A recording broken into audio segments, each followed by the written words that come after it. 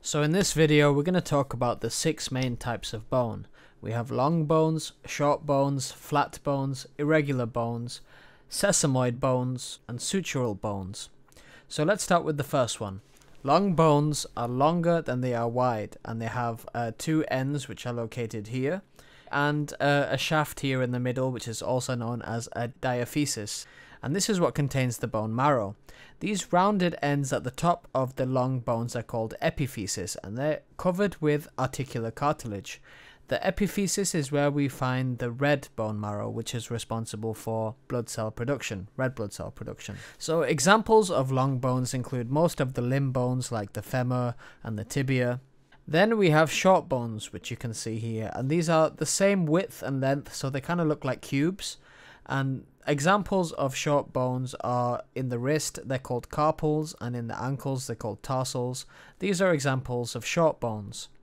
Flat bones are quite thin and they are broad in shape, so you can find these bones where we need to have protection of the underlying organs or where we need that broad kind of shape for muscular attachment. So the sternum for protection, the ribs for also for protection, and the scapula, which is where we have attachment of muscles.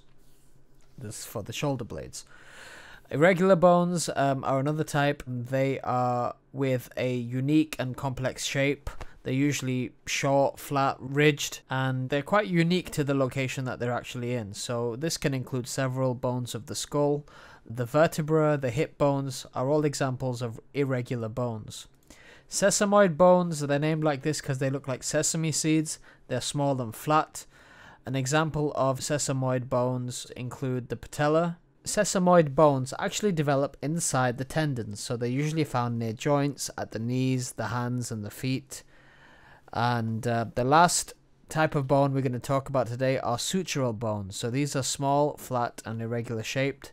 And you'll find sutural bones uh, usually between the flat bones of the skull, and they have varying shapes and sizes.